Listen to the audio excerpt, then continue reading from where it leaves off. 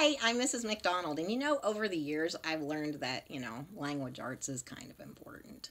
It never was my favorite subject, but I've had to come to grips with some of the basics, and so I thought I'd share some of those with you. Um, these get messed up all the time on Facebook, I can tell you that. And now that I know them all, sometimes it gets on my nerves. But at any rate, I thought I'd just go over them just to get hmm, them off my mind, okay?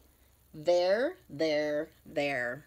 Uh, they are problems. They're a problem, aren't they? They're a problem, aren't they? I don't have they. they're means they are. Their means it is their house. It is theirs. There means over there. Come here, go there. That's this there. Okay? Your, your, your, it is your house. You're going to the store. You are. Two, two, two. Two. This can mean also, I want to go too. Or it can mean too much, that you have way too much, too much too much. I remember that because there's two zeros, so I remember, ooh, it's just too many zeros. It's too much.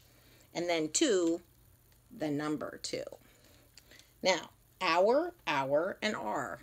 Sometimes those cause trouble. Hour is the time. Our is ownership. It is our house. And Are is where are you going? And then there are other words like this. I only shared one, meat and meat, that sound the same but mean entirely different things. And I put those there because I'm going to use them a little bit in part two of my little mini lesson. Where did my eraser go? Oh, where, oh, where did my eraser, oh, right here. Okay, so I'm going to erase those. Oh, well, I don't know if they're going to erase. So maybe I'll just say this. Okay. Part two. Him, her, she, me, I, okay? he, she, I, subject of the sentence. He is going to the store. He is doing this. She is doing this. I am doing this. Him, her, my, hers. That's it is his. It is hers. It is ours. It is whatever. Anyhow. Here is an example. This, you tell me which one's right. Him is your friend. Or, he is your friend. Hmm. He is your friend. Me is your friend. I am your friend. I am your friend. Me and him is your friend. Or, he and I are your friends. Hmm. He and I are your friends. Okay. Last but least, let's see, last but not least. Okay. Oh, here's another example. Me and him didn't ever meet. Look at those mistakes. What is wrong with that? Oh, it should be he and I didn't ever meet. Okay? I and he never talked. What should that be?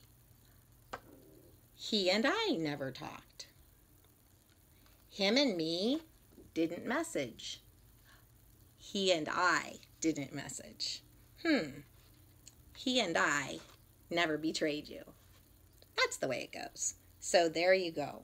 Me hope that you me hope that this helps you understand why you need to watch your grammar. Because too many misunderstandings can happen between too many people when you use poor grammar. Talk to you later. Bye.